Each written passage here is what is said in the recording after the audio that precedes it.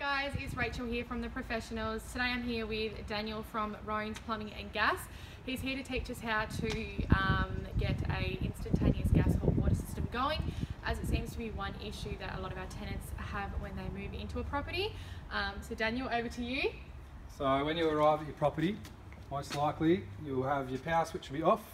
So you turn that on. You'll have a green valve which is your mains water in.